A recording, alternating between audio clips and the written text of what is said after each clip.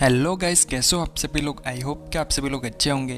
तो गाइस आज हम करने वाले हैं स्नैपसीड में new amazing dark CB colour effect photo editing तो गाइस अगर आपको ये वीडियो अच्छी लगे तो लाइक ज़रूर कर देना और सब्सक्राइब कर देना हमारे चैनल को। तो गाइस सबसे पहले हम फ़ोटो को शेयर कर लेंगे स्नैपसीड ऐप में। यहाँ से स्नैपसीड में शेयर कर लेंगे।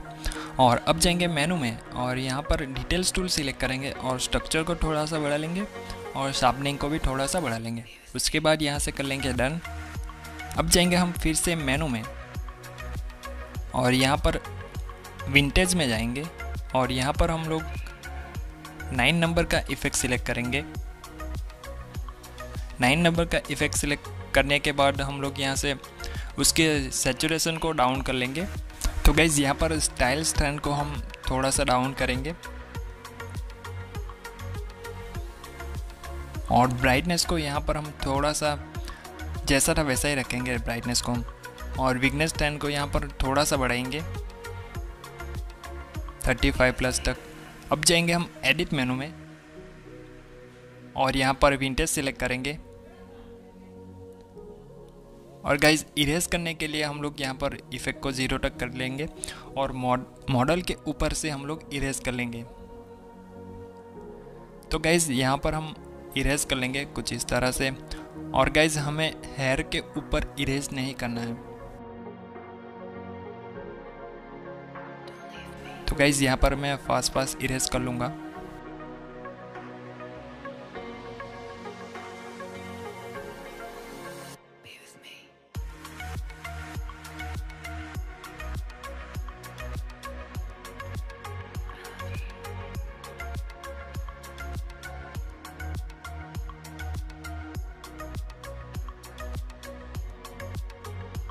तो गाइज़ हमारा इरेज हो चुका है तो अभी यहाँ से कर लेंगे डन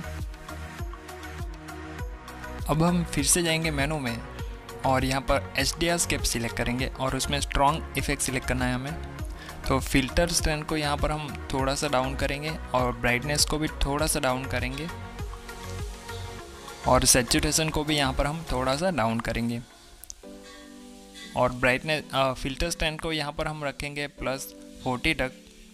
और उसके बाद जब यहाँ से कर लेंगे डन और जाएँगे फिर से एडिट मेनू में और यहाँ से एस डी स्केप सिलेक्ट करेंगे। तो गाइज़ यहाँ पर हम लोग फिर से इरेज कर लेंगे मॉडल के ऊपर जो इफ़ेक्ट लगा है उसे। और गाइज़ यहाँ पर हमें हेयर के ऊपर भी इरेज करना है। तो गाइज़ यहाँ पर मैं फास्ट फास्ट इरेज कर लूँगा।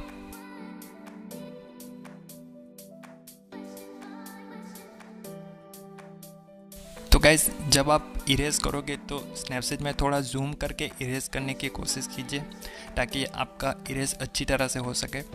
तो गाइज़ अब हम लोग यहाँ से कर लेंगे डन अब हमें फिर से जाना है मेनू में, और यहाँ पर पोर्ट्रेट इफ़ेक्ट सिलेक्ट करेंगे। और यहाँ पर कॉम्बो वन इफ़ेक्ट सिलेक्ट करना है हमें। फेस स्पॉटलाइट को थोड़ा सा बढ़ा लेंगे, और स्किन स्मूथिंग को भी थोड़ा सा बढ़ा लेंगे। आई क्लियरिटी को भी यहाँ पर थोड़ा सा बढ़ा लेना है हमें।